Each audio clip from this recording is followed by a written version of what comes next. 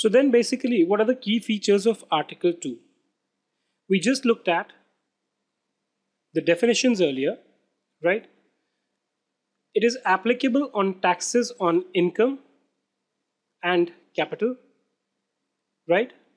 Second, these taxes on income and capital may be imposed on behalf of a contracting state.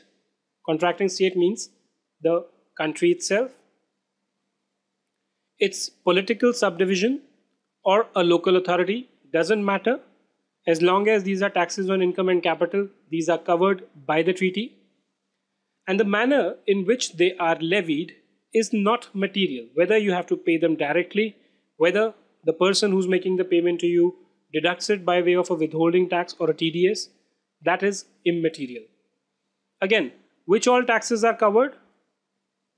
The taxes on income, any additional tax, surcharge, of course, you need to find a mention for that in the treaty, surtax, like we saw in the India-US treaty. It excludes indirect taxes like VAT, service tax, sales tax, etc. And R&D cess is generally not covered as we saw in the case of India-Netherlands Treaty, where the protocol specifically provides that R&D cess shall not be covered by Article 2.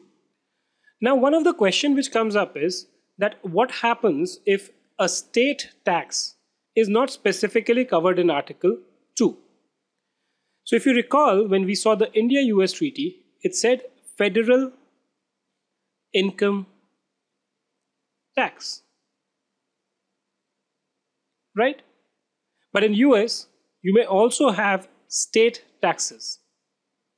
If this is not mentioned, would you get the benefit of this?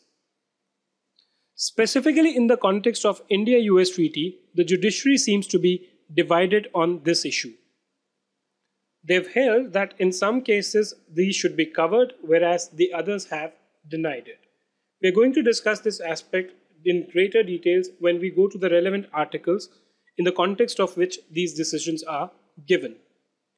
With that, we end Article 2.1. Now we are going to look at Article 2.2 to understand what is taxes on income and taxes on capital.